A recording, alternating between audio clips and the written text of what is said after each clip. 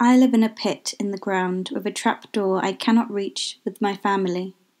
Nobody here is older than a year. We wait to be picked by the man with a hard voice and hard hands. I am chosen to hunt. My friend is chosen to not to. I know more about what it is to fly than any other thing with four paws. I see the rabbit we both bolt. As the dirt crumbles beneath me and the air lifts under my ribs, I reach my jaws and snap around its neck to corner. I fall. I break a claw, which means I am no good anymore.